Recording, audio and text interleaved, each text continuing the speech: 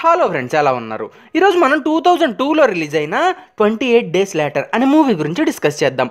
ఈ movie concept చాలా బాగుంటుంది. యూకేలో ఒక వైరస్ స్ప్రెడ్ అవడం వల్ల మానవాళి అంతరించిపోయే స్టేజ్కి వస్తుంది. బట్ వైరస్ స్ప్రెడ్ అయ్యే టైంకి ఈ మూవీలోని హీరో కోమాలో ఉంటాడు. ట్వంటీ ఎయిట్ డేస్ తర్వాత అతను కోమాలో నుండి బయటకు వస్తాడు. అతను స్పృహలోకి వచ్చిన తర్వాత అతనికి మనిషి జాడే కనిపించదు. ఇంతకీ మన హీరోకి ఎవరైనా కనిపించారా? లేక ప్రస్తుతం అతను ఒక్కడే భూమిపై బ్రతికి ఉన్నాడా? అండ్ అతను కోమా నుండి బయటకు వచ్చాక ఎటువంటి సమస్యలను ఎదుర్కొన్నాడు? ఇంతకీ ఆ వైరస్ ఎలా స్ప్రెడ్ అయింది? అనే విషయాలు ఇప్పుడు తెలుసుకుందాం. రండి. మూవీ స్టార్టింగ్ సీన్లో మనకి కేంబ్రిడ్జ్ యూనివర్సిటీలోని ఒక ల్యాబ్ని చూపిస్తారు.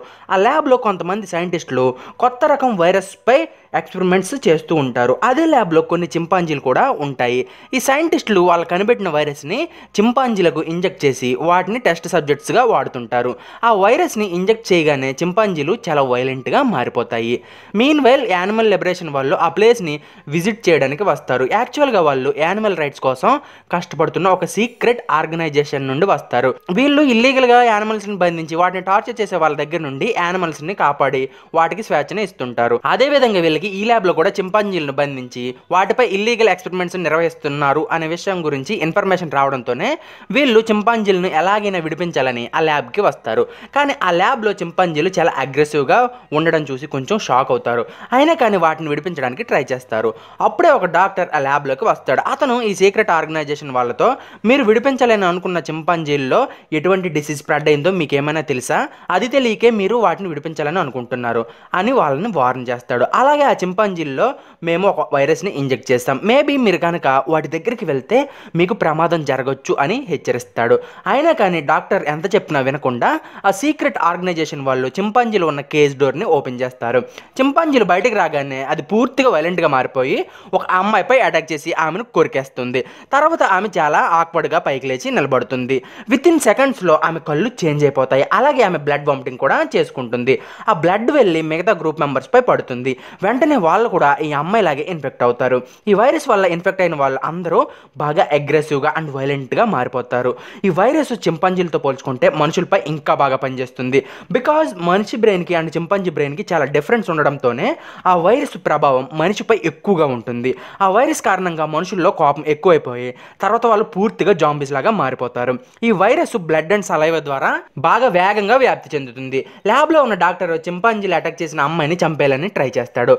బట్ అతనికంటే ముందుగానే ఆ లేడీ డాక్టర్ని చంపేస్తుంది. తర్వాత ఈ వైరస్ చాలా వేగంగా ప్రపంచం మొత్తం వ్యాప్తి చెందుతుంది. ముందు ఈ వైరస్ సిటీ మొత్తం వ్యాప్తి చెంది తర్వాత దేశాల వైపుకు వెళ్తూ ఉంటుంది. ఈ ఇన్సిడెంట్ జరిగిన ట్వంటీ ఎయిట్ డేస్ తర్వాత జిమ్ అనే వ్యక్తి లండన్ హాస్పిటల్లో స్పృహలోకి వస్తాడు. అతను వైరస్ స్ప్రెడ్ అవడానికి ముందే కోమాలోకి వెళ్ళిపోతాడు. అతను స్పృహలోకి వచ్చి హాస్పిటల్ మొత్తం చెక్ చేస్తాడు. కానీ అతనికి ఎవరూ కనిపించరు. అది చూసి జిమ్ షాక్ అయిపోతాడు. దాంతో జిమ్ హాస్పిటల్ బయటికి వస్తాడు. బయట కూడా అతనికి మనుషుల జాడే కనిపించదు. అసలు జిమ్కి అక్కడ ఏం జరుగుతుందో అర్థం కాదు. వీధుల్లో ఉన్న రోడ్లపై మిస్సింగ్ పీపుల్ గురించి పోస్టర్స్ అంటించి ఉంటాయి. సిటీ మొత్తం ఎడార్లాగా మారిపోతుంది. నెక్స్ట్ జిమ్ అసలు ఈ సిటీకి ఏం జరుగుతుంది అని వర్రీ అవుతూనే ఒక చర్చిలోకి వెళ్తాడు. బట్ ఆ చర్చ్ లోపల కండిషన్ బయట ఉన్న కండిషన్ కంటే ఇంకా వర్స్ట్గా ఉంటుంది. ఆ చర్చిలో కొన్ని రోజులకు ముందు చనిపోయిన వారి డెడ్ బాడీస్ అనేవి ఉంటాయి. జిమ్కి ఏం అర్థం కాదు. దాంతో అతను బాగా వర్రీ అవుతాడు. అప్పుడే చర్చ్ ఫాదర్ చర్చిలోకి వస్తాడు. అతని మూతి నుండి బ్లీడింగ్ అనేది అవుతూ ఉంటుంది. అలాగే అతని వాయిస్ కూడా చాలా స్ట్రేంజ్గా ఉంటుంది. అప్పుడే ఫాదర్తో పాటు ఆ చర్చిలో ఉన్న కొన్ని జాంబీస్ జిమ్ వెనకాల పడతాయి. జాంబీస్ని చూడగానే జిమ్కి ప్యాంట్ తడిచిపోతుంది. దాంతో అతను బాగా భయపడుతూ వాటి దగ్గర నుండి తప్పించుకుని పరిగెడతాడు. అదే టైంలో ఇద్దరు వ్యక్తులు జిమ్ దగ్గరికి వచ్చి అతను వెనక పడుతున్న జాంబీస్ని కాల్ చేస్తారు. అలా ఆ ఇద్దరు జిమ్ని సేవ్ చేసి జాంబీస్ని చంపేస్తారు. వీళ్ళు జిమ్ని తీసుకుని వాళ్ళ హైడౌట్ ప్లేస్కి తీసుకెళ్తారు. ప్రస్తుతం వీళ్ళు జాంబీస్కి కనిపించకుండా అక్కడే నివసిస్తూ ఉంటారు. వీళ్ళిద్దరూ కూడా మాస్కులను వేసుకుని ఉంటారు. వాళ్ళ జిమ్ని వాళ్ళ ప్లేస్కి తీసుకొచ్చాక తమ మాస్కుల్ని తీసేస్తారు. వాళ్ళల్లో ఒక అబ్బాయి పేరు మార్క్ అండ్ ఇంకొక అమ్మాయి పేరు సెలీనా. వీళ్ళు జిమ్ గురించి చెప్పమని అడుగుతారు. అప్పుడు జిమ్ నేను ఒక డెలివరీ బాయ్ని. ఒకసారి నేను నా సైకిల్పై కొరియర్ డెలివరీ చేయడానికి వెళ్తున్నప్పుడు నాకు యాక్సిడెంట్ జరిగింది. దాని తర్వాత ఏం జరిగిందో నాకు అస్సలు గుర్తులేదు కానీ నేను ఈరోజు హాస్పిటల్లో మెలకుల్లోకి వచ్చా అని చెప్తాడు. అంతేకాకుండా జిమ్ అసలు ఈ సిటీలో ఏం జరుగుతుందో నాకు కొంచెం చెప్పండి అని మార్క్ వాళ్ళని అడుగుతాడు. అప్పుడు వాళ్ళిద్దరూ ఈ సిటీలో ఒక వైరస్ స్ప్రెడ్ అయ్యింది. ఇప్పుడు ఈ సిటీ మొత్తం ఆ వైరస్ కారణంగా ఇన్ఫెక్ట్ అయ్యింది. గవర్నమెంట్ అండ్ ఆర్మీ ఈ వైరస్ని క్యూర్ చేయడానికి ఎటువంటి స్టెప్స్ని తీసుకోవడం లేదు. బహుశా ప్రపంచం అందమైపోతుందేమోనని జిమ్కి చెప్తారు. అలాగే గత ఆరు రోజుల్లో మాకు దొరికిన ఒకే ఒక సర్వైవర్ నువ్వు అని కూడా జిమ్కి చెప్తారు. జిమ్ తన ఫ్యామిలీని సేవ్ చేయాలని అనుకుంటాడు. కానీ మార్క్ వాళ్ళు మాత్రం ఈ వైరస్ కారణంగా ఎవరు బ్రతికలేరు. ఈవెన్ నీ ఫ్యామిలీ కూడా ఆల్రెడీ చనిపోయి ఉంటుందని అంటారు. ఆ నెక్స్ట్ డే జిమ్ తన ఇంటికి వెళ్తాడు. అక్కడ తన పేరెంట్స్ సూసైడ్ చేసుకుని చనిపోతారు. వాళ్ళు చేతుల్లో జిమ్ ఫోటో ఒకటే ఉంటుంది. ఆ ఫోటో వెనకాల జిమ్ పేరెంట్స్ ఒక మెసేజ్ని రాస్తారు. అదేంటంటే జిమ్ మేము నువ్వు స్పృహలో లేనప్పుడు వదిలేసి వచ్చేసాం. అలాగే ఇప్పుడు మేము శాశ్వతంగా నిద్రపోతున్నాం. నువ్వు కూడా అలాగే శాశ్వతంగా నిద్రపో అని రాసి ఉంటుంది. అది చదివి జిమ్కి బాగా బాధ కలుగుతుంది. దాంతో అతను గట్టిగా ఏడుస్తాడు. బట్ అతను తన పేరెంట్స్ లేరనే రియాలిటీని యాక్సెప్ట్ చేయాలి. ఆ రోజుకి మార్కు సెలిన్ అండ్ జిమ్లు జిమ్ వాళ్ళ ఇంట్లోనే స్టే చేయాలని అనుకుంటారు. బికాజ్ వాళ్ళు వాళ్ళ హైడౌట్ ప్లేస్కి వెళ్ళేసరికి చీకటి పడిపోతుంది. జాంబీస్ నైట్ టైం బాగా యాక్టివ్గా ఉంటాయి. దాంతోనే వాళ్ళు జిమ్ ఇంట్లో ఉండాలని డిసైడ్ అవుతారు. నైట్ అయ్యాక రెండు జాంబీస్ జిమ్ వాళ్ళపై అటాక్ చేస్తాయి. ఆ రెండు జాంబీస్ జిమ్ వాళ్ళ నైబర్స్ వాళ్ళు కూడా జాంబీలాగా ట్రాన్స్ఫార్మ్ అయిపోతారు. ఫైనల్గా జిమ్ వాళ్ళు ఆ జాంబీని చంపేస్తారు. ఈ ఫైట్లో మార్క్కి ఒక జాంబీ కొరికేస్తుంది. దీని కారణంగా సెలీనా మార్క్కి ఇన్ఫెక్షన్ స్ప్రెడ్ అయ్యి తను వాళ్ళని ఏం చేస్తాడని భయపడి మార్క్ను కూడా చంపేస్తుంది. ఇప్పుడు సెలీనా అండ్ జిమ్ మాత్రమే బ్రతికుంటారు. వీళ్ళిద్దరూ బయటికి వెళ్ళినప్పుడు ఒక బిల్డింగ్లో నుండి లైట్ రావడాన్ని గమనిస్తారు. అప్పుడే వాళ్ళకి ఆ బిల్డింగ్లో కూడా సర్వైవర్స్ ఉన్నారని అర్థమవుతుంది. ఇంతలో జాంబీస్ వీళ్ళని తరుముకుంటూ వస్తాయి. అప్పుడే వీళ్ళిద్దరూ ఆ బిల్డింగ్ అప్స్టేర్స్కి పరిగెడతారు. జాంబీస్ ఇంకా వీళ్ళ వెనకాలే వస్తుంటాయి. అప్పుడే ఒక వ్యక్తి వీళ్ళిద్దరిని కాపాడి జాంబీలపై అటాక్ చేస్తాడు. వీళ్ళని కాపాడిన వ్యక్తి పేరు ఫ్రాంక్. ఫ్రాంక్ తన కూతురు హెనాతో కలిసి జాంబీస్కి కనబడకుండా ఆ బిల్డింగ్లోనే తలదాచుకుంటున్నాడు. ఫ్రాంక్ వీళ్ళిద్దరిని తనతో పాటు ఉండమని చెప్తాడు. అలాగే ఫ్రాంక్ కొన్ని రోజులకు ముందు మిలిటరీ బ్రాడ్కాస్ట్ చేసిన బ్రాడ్కాస్టింగ్ గురించి చెప్తాడు. ఆ బ్రాడ్కాస్టింగ్లో వైరస్కి క్యూర్ కనిపెట్టారని చెప్తాడు. అలాగే సేఫ్గా ఉన్న వాళ్ళు ఒకరికొకరు హెల్ప్ చేసుకుని సేఫ్ ప్లేసెస్లో హైడ్ అయ్యి ఉండండి. అలాగే రేడియోస్ ఏమైనా ఉంటే వాటి ద్వారా సేఫ్ పీపుల్ అడ్రస్ కూడా మాకు తెలియచేయండి అని కూడా అన్నారని ఫ్రాంక్ జిమ్ వాళ్ళకి చెప్తాడు. బట్ సెలీనా మాత్రం ఆర్మీ వాళ్ళని నమ్మదు. అసలు వాళ్ళు మనల్ని ఎందుకు సేవ్ చేయాలని అనుకుంటున్నారని ఫ్రాంక్ని అడుగుతుంది. యాక్చువల్గా ఆ బ్రాడ్కాస్టింగ్ రికార్డ్ చేయబడింది. కానీ వీళ్ళ దగ్గర ఆ బ్రాడ్కాస్టింగ్ నమ్మడం కంటే ఇంకో మార్గం లేదు. అయినా సరే వీళ్ళంతా కలిసి బ్రాడ్కాస్టింగ్ జరిగిన మిలిటరీ క్యాంప్కి వెళ్దామని డిసైడ్ అవుతారు. నైట్ అయ్యాక అందరూ ఒక కార్ ఎక్కి క్యాంప్కి బయలుదేరుతారు. అప్పుడు దారిలో వీళ్ళకి ఒక టనల్ కనిపిస్తుంది. జిమ్ మాత్రం మనం ఆ టనల్ ద్వారా వెళ్ళడం మంచిది కాదని మిగతా వాళ్ళకి చెప్తాడు. బట్ ఫ్రాంక్ మాత్రం మనం ఆ టన్నల్ గుండా వెళ్తే క్యాంప్కి చాలా వేగంగా చేరుకోవచ్చు అని చెప్తాడు. ఆ టన్నల్లో చాలా కార్స్ కూడా ఉంటాయి. ఫ్రాంక్ కార్ని చాలా వేగంగా పోనిస్తాడు. అప్పుడే వీళ్ళ కార్కి పంక్చర్ అనేది అవుతుంది. ఫ్రాంక్ వాళ్ళ కార్ టైర్ని మారుస్తున్నప్పుడు జాంబీస్ వీళ్ళ వైపు వస్తుంటాయి. వాటిని చూసిన వెంటనే జిమ్ వాళ్ళు టైర్ని చాలా క్విక్గా చేంజ్ చేసి అవి వచ్చేలోపే కార్ని స్టార్ట్ చేసి అక్కడ నుండి పారిపోతారు. రెండు మూడు రోజుల తర్వాత వీళ్ళు వీళ్ళు వెళ్ళాలి అని అనుకున్న లొకేషన్కి చేరుకుంటారు.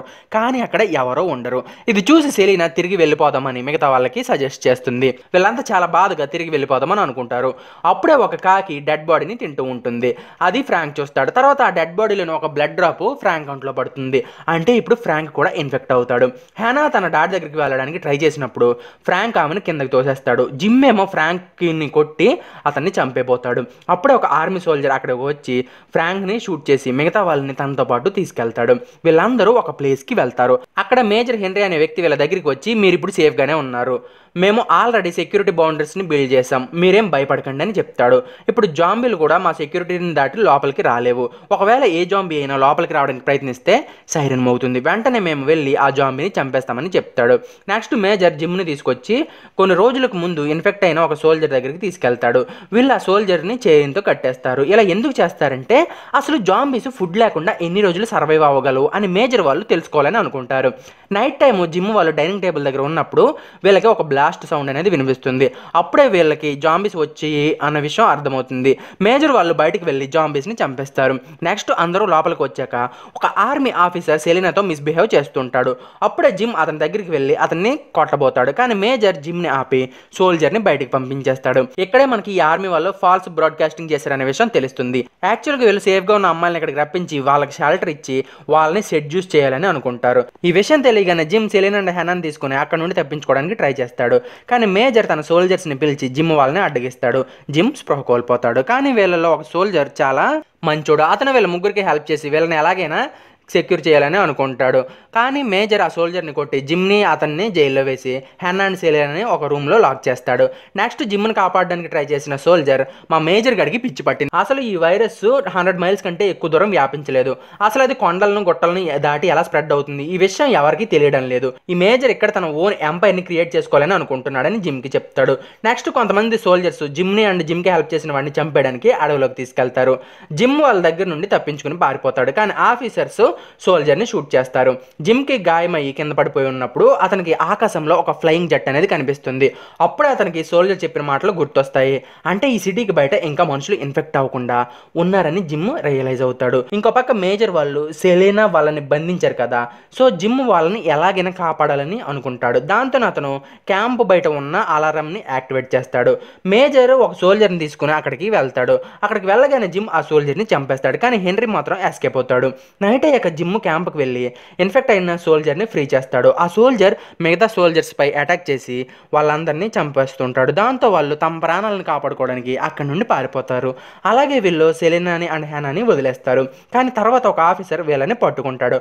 బట్ జిమ్ అతను కూడా చంపేస్తాడు. సెలీనా ఏమో జిమ్ను కూడా జాంబీగా మారిపోయాడేమోనని అనుకుంటుంది. బట్ అది అనుమానం మాత్రమే. దీని తర్వాత జిమ్ అండ్ సెలీనా ఒకరినొకరు ఇష్టపడతారు. హెనా మాత్రం ఒక బాటిల్తో జిమ్ పై అటాక్ చేస్తుంది. యాక్చువల్గా ఆమె జిమ్ జాంబీ అయిపోయి చనిపోయాడని అనుకుంటుంది. నెక్స్ట్ వీళ్ళ ముగ్గురు అక్కడ నుంచి తప్పించుకోవడానికి ఒక కార్ ఎక్కాలనుకుంటారు.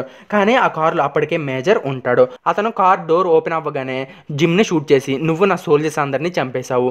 అందుకే నువ్వు చావాలని అంటాడు. హెన్నా అప్పటికే కార్ ఎక్కేసి కార్ని రివర్స్ చేస్తుంది.